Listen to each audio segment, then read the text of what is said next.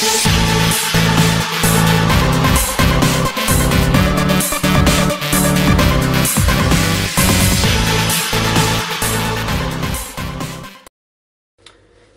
guys, welcome back on this channel Swiss RC and today this is part 2 of the two part series of setting up this QAV 540 with the brushless gimbal.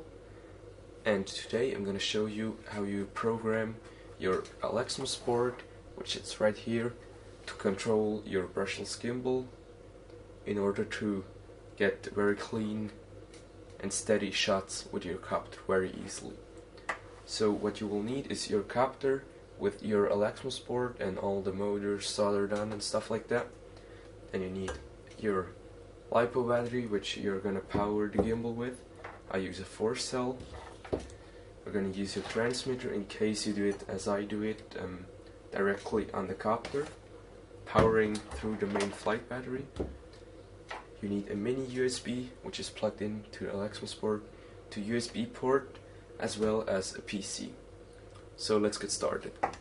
Here you see the Basecam Electronics uh, website, which is uh, the original um, Alexmos website actually. And right here uh, we're in the Downloads tab. So we're gonna have to download the latest version, which is version 2.40 B7. We're gonna download the firmware as well as the GUI later to program it. I've already done that. Here you can see those two files and I'm gonna right click this one and say extract here. Okay, then you have a folder and uh, we can delete this one actually. So then we're gonna open up this folder and run the simple BGC GUI. Just double click it.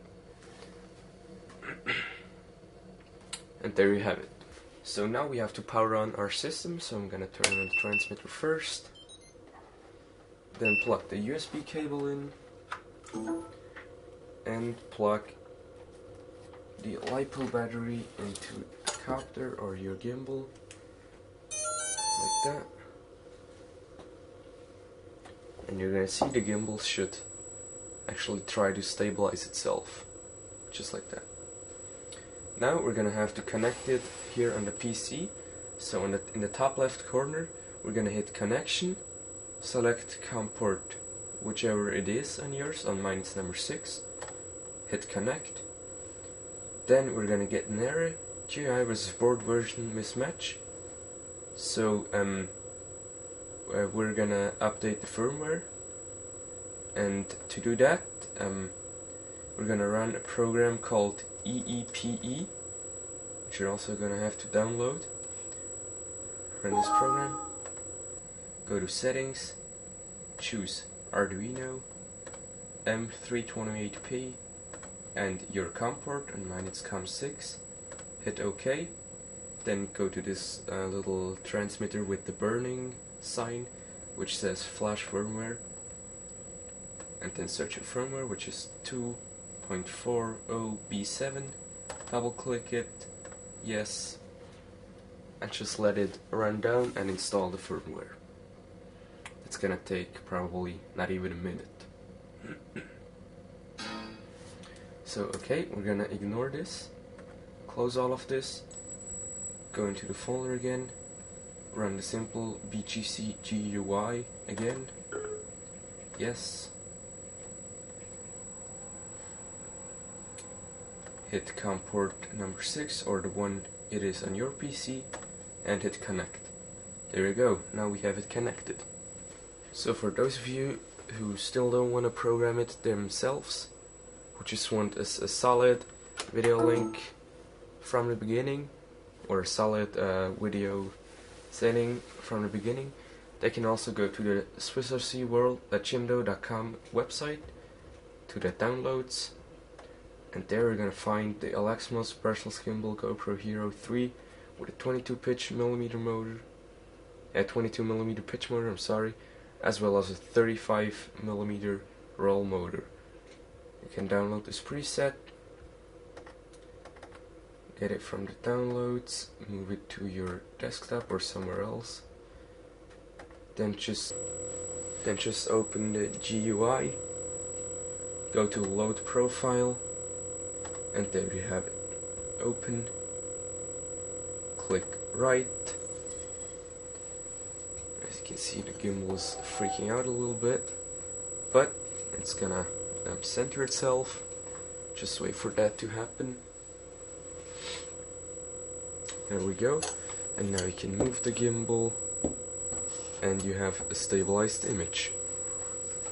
Now, for those of you who want to know what these PID and so on, what this means, um, the P gain, uh, a high number in P gives the motor a lot of force to react, to counteract um, forces from the outside. So, if I move it and you have not enough um, P gain, the motor is not going to get enough power to um, to counteract the tilting. So, but also what happens? I'm going to show you what happens when the pitch is too high. I'm going to write it, and I don't know if you can see that, but the pitch is now oscillating very weird. So I'm going to set this down back again quickly. You can also touch the gimbal just in order to feel what it does. Right now it doesn't oscillate anymore. Um, so the I gain is actually only um, the speed in which um, the RC input uh, steers your gimbal. So here on the slider I can move the gimbal down. A higher I gain means it goes faster and a lower means it goes slower. And I have it set to 0.02 for the pitch, which gives me a really soft and really slow movement. Also, what you're gonna do is um, assign power to the motors. If the motors do not have enough power, I'm gonna show you what happens with the pitch. I'm gonna set the power to very low. So, you can see sometimes it's still going to um, counteract it, but it's not gonna have enough force to do it when there is a very quick movement. Look at that. You see? The GoPro just kicks around. So yeah, I have those two set to 80 something. Think it was 81 on this. Click right. And that's pretty much it. The last, last thing you're gonna notice is the D-gain. The D-gain is only important to you if you have um, vibrations on your gimbal, which you actually don't want. So um, a higher D-gain somehow counteracts the, um, the oscillations from vibrations of your copter by just um, increasing your reaction time. And on, on the QAV, uh, where we have this these orange rubber bobbins to um, absorb most of the vibrations, uh, the D gain is not really necessary, so you can actually leave this how it is. Then we're gonna go over to advanced. Here are some um, some options which you might not understand. I just uh, checked um, uh, the accel accelerations compensation, but you do not want those, so I'm gonna uncheck them. Click right, the gimbal's gonna freak out. Then RC settings. Uh, here you can um, add your um, control. I just, I don't know if you can see that on camera right here. No, not really. I just soldered um, an extension cable directly to the board and uh, you can choose between PVM, analog and just vir virtual channels both for the pitch or um, roll. I only uh, tilt the pitch because um, you don't want a video which is um, sideways. Down here, RC control, you can determine the angle. On the pitch, I have it set to angle mode. What this means is when I have the slider in the top position, the gimbal is gonna be in the top position. When I put it down, all the way, the gimbal is gonna point all the way down. And if I put this one in the middle, it's gonna go to about 45 degrees. This is angle mode. And what happens when I put in speed mode, let me just write that really quickly. I can put it down, and the gimbal moves as fast as as far as I put it down. So if you put it down further, it's gonna move faster, and it's not gonna stop until it hits the cable. So in the middle, when uh, when your slider is in the middle position, the gimbal is gonna be still. If it's in the up position, it's gonna turn up as far as it can go, or to the maximum you can set right here. And you can also turn it really slowly. But um, for me, it's actually easier to put it in uh, angle mode uh, if you're flying alone with this slider. And that's why I have it set like that on the preset as well.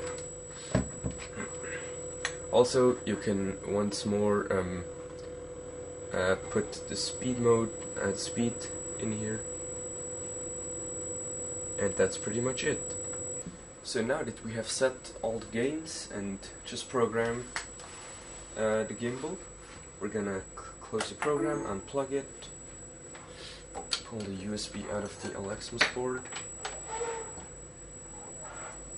And we're gonna take the copter into our hands and we're gonna see if everything is working the way we want it to by just moving it around a little bit. And this seems to work pretty well. Also uh, put your finger on top of the gimbal to see if there are any vibrations when moving. And I cannot feel any of them right now. So the next thing which is quite important is going to be test flying. So let's get out to the field